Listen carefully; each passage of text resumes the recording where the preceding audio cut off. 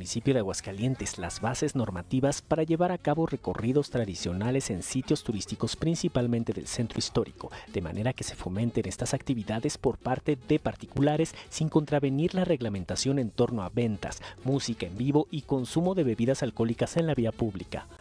Las reformas vigentes desde este 3 de septiembre en primera instancia definen recorrido tradicional como un espectáculo desarrollado en la vía pública, en que se realiza un paseo por calles, plazas o callejones que autoriza el municipio, acompañado de estudiantina, tambora, mariachi o grupo similar, durante el cual se pueda permitir el consumo de vinos generosos, preferentemente producidos en Aguascalientes. Se contemplan dos tipos de eventos según su aforo, familiares de menos de 100 personas y deriven de eventos como bodas o 15 años, además de populares, con la participación de más de 100 personas.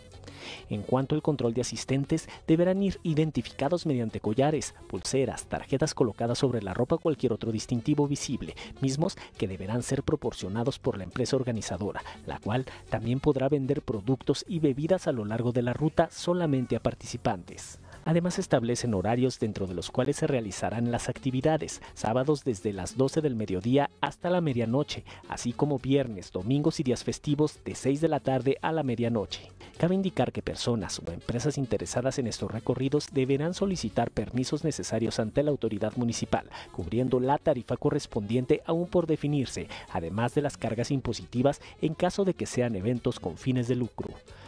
Juan Sergio Alba Carrillo, más Noticias.